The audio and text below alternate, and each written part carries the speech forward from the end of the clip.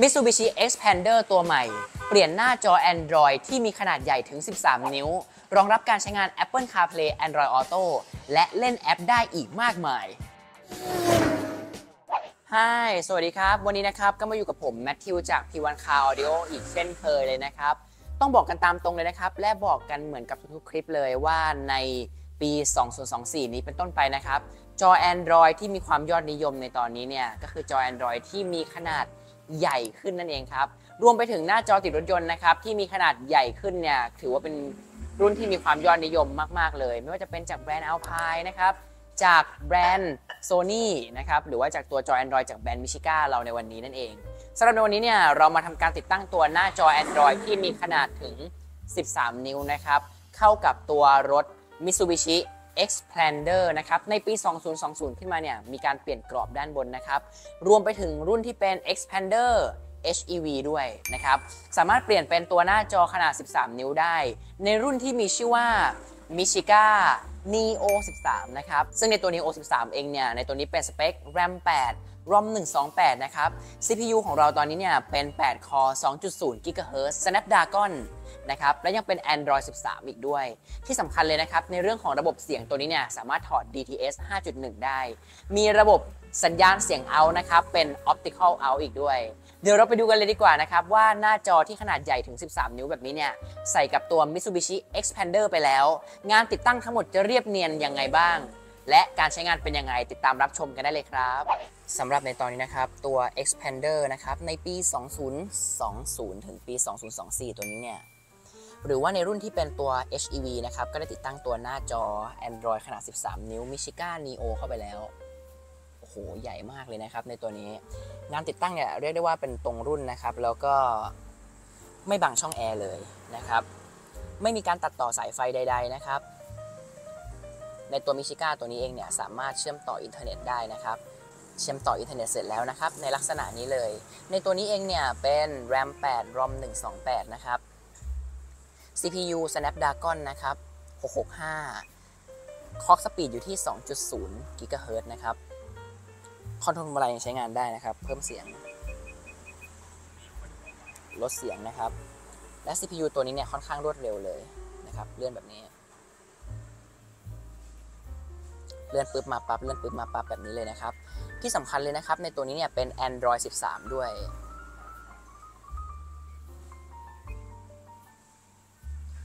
นี่เลยครับ นี่คือในส่วนของตัว YouTube นะครับ ถือว่าไหลลื่นเลยนะครับ ในตัวนี้เนี่ยสามารถถอด DTS ได้ด้วยนะครับ ในชิปเสียงจาก Asahi Asahi เนี่ยถือว่าเป็นแบรนด์ชิปเสียงนะครับ ชิป DSP ที่มีความยอดนิยมในเครื่องเสียงบ้านมาก ๆ เสียงก็ถือว่าไพเราะเลยนะครับ เดี๋ยวผมจะพาดูตัวการตั้งค่าเสียงด้วย เบื้องต้นเนี่ยสั่งการด้วยเสียงได้ลองดูกัน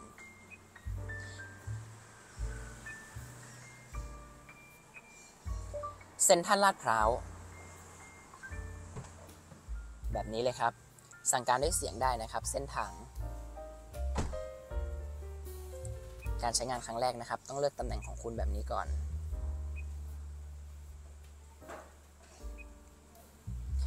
ถือว่าเป็นรุ่นที่รวดเร็วนะครับ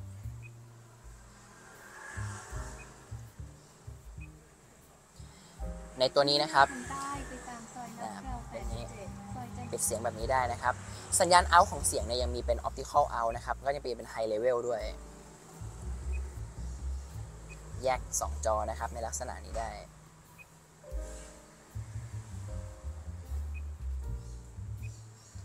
นี่เลยครับผมนำทางนะครับพร้อมกับฟังเพลงได้นะครับ จาก YouTube ในลักษณะแบบนี้เลย เลือกเต็มจอนะครับ ก็เลื่อนแบบนี้ได้ หน้าจอ 13 นิ้วนี่ถือว่ายิ่งใหญ่มากเลยนะครับ สามารถเล่นในส่วนของตัวแอปทีวีออนไลน์ได้หลากหลายเลย ไม่ว่าจะเป็น Look TV นะครับ AS Play True ID นะครับ สามารถเล่นได้ เพราะว่าตัวนี้เนี่ยเป็น Android 13 แล้วรองรับแอปครบทุกแอปเลยนะครับ ช่อง 3 ช่อง 5 นะครับ ช่อง 7 Mono 29 Workpoint นะครับ ดูได้ ภาพตัวนี้นะครับ เป็น 1920คูณ1,200นะครับ เกือบเป็น 2K แล้ว มีคนถามกันมาเยอะนะครับ เกี่ยวกับตัว expander ติดตั้งจอ 13 นิ้ว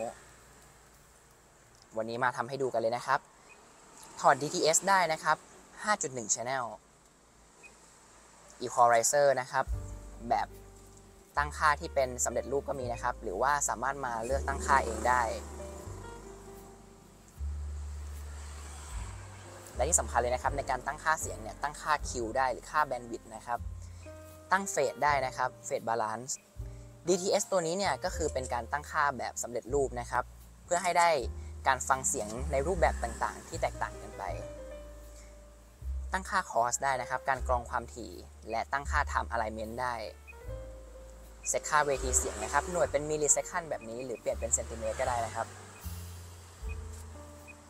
ทีละหนึ่งเซนนะครับ ในแบบนี้เลย เพื่อสร้างเวทีเสียงนะครับ ก็ต้องตั้งค่า time alignment ด้วย ในส่วนของตัวนี้นะครับ เราติดตั้งตัวกล้องบันทึกหน้า Michiga MG 0 1 0เข้าไปด้วยครับ MG 0 1 0เนี่ย คือตัวนี้ครับ โฟกัสกันสักหน่อย ทำงานร่วมกับตัวหน้าจอ Android นะครับ ได้ก็จะมีข้อมูลต่างๆนะครับ ในการบันทึก วันที่เวลาลัติจูดลองติจูดนะครับ ดูภาพย้อนหลังจากตรงนี้ได้นะครับ นี่คือในส่วนของตัวกล้องที่เราเพิ่มเติมเข้าไปให้ในชุดนะครับ ในส่วนของตัวกล้องมองหลังนะครับ เดี๋ยวเราลองดูกันสักหน่อยเฟิบนี่คือภาพจากกล้องมองหลังเดิมนะครับ สามารถทำงานร่วมกับกล้องมองหลังเดิมได้ Mitsubishi Expander นะครับที่เป็นรุ่นปี 2020 ขึ้นมานะครับรวมถึงรุ่นที่เป็น HEV ด้วยเปลี่ยนหน้าจอนะครับให้กลายเป็นลักษณะนี้ได้ ดู Netflix นะครับใช้ได้ TikTok ดูได้นะครับโหลดแอปเพิ่มเติมจาก Play Store ตัวนี้ได้ และที่สำคัญเลยนะครับ เชื่อมต่อ Apple CarPlay และ Android Auto แบบไร้สายได้นะครับ วันนี้จัดมาให้ดูกันแบบเต็มๆเลยนะครับ เลื่อนขึ้นแบบนี้เพื่อให้เต็มจอ เลื่อนเพลงได้นะครับ เป็นการติดตั้งแบบตรงรุ่นนะครับ ไม่มีการผ่าเจาะตัดต่อสายไฟใด ๆนะครับ ตัวนี้ตรงรุ่นทุกชุดเลยทั้งชุดเลยนะครับ สุดยอดเลยนะครับมิชิก้านีโอ13 ครับผมซึ่งสำหรับในตัวรถตัว Mitsubishi Expander เนี่ย มีลูกค้าถามกันมาเยอะมาก ๆ เลยนะครับ ว่าเปลี่ยนเป็นจอ Android 13 นิ้วได้หรือเปล่า ในคลิปนี้มีคำตอบและทุกท่านได้ลองเห็นกันเป็นเป็นที่เรียบร้อยแล้วโดยคลิปนี้เนี่ยผมทำการส่งให้กับลูกค้าทุกๆคนเลยนะครับ ดูว่า Xpander ตัวนี้ติดตั้งแล้วงานติดตั้งเป็นยังไง ที่สำคัญเลยเนี่ยคืองานติดตั้งไม่บังแอร์นะครับ เมื่อ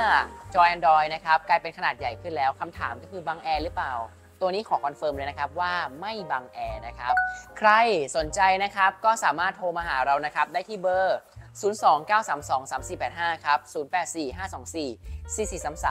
เยี่ยมชมเว็บไซต์ของทางเรานะครับ ดูสินค้าอื่นๆ เพิ่มเติมเกี่ยวกับเรื่องการตกแต่งในรถยนต์นะครับ ความบันเทิงในรถยนต์ได้ที่ www.carpromarket.com